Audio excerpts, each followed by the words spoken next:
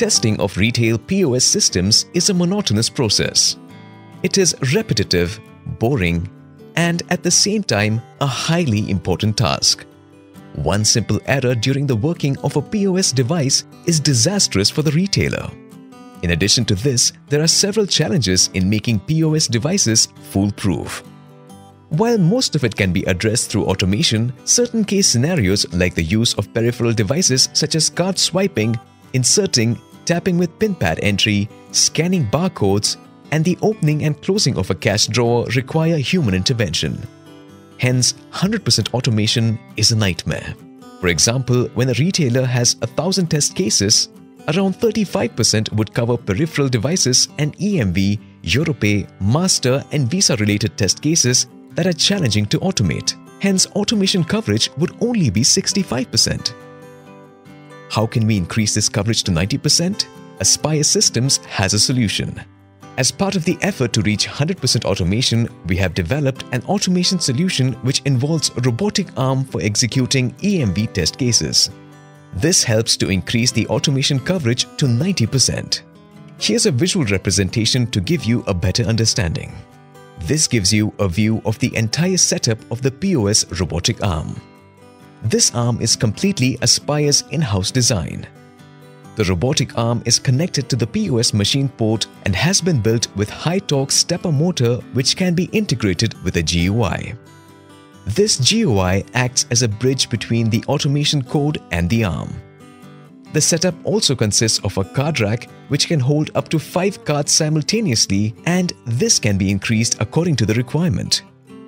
The arm can calibrate different dimensions of the pinpad device. Three sensors are connected to the machine so that every action performed by the arm can be detected. Once the action is detected, a pop-up is triggered to confirm the completion of each action. Let's get started with the demo. Through automation, the arm can perform three different actions, inserting, swiping, and tapping the pinpad device. Let's now see how the swipe action works. The script has run, the POS application has been launched.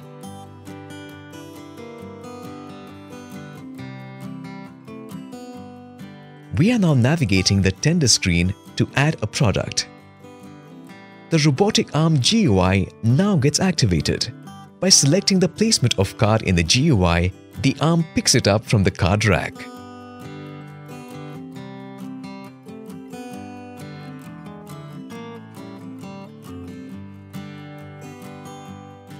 The moving rail starts and the swipe action is getting performed.